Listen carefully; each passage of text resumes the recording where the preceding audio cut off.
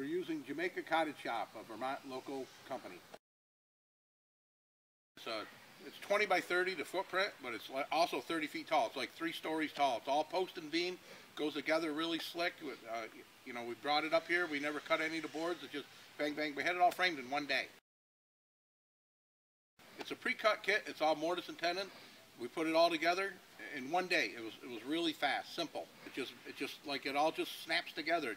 These kits are all native rough sawed timber frame.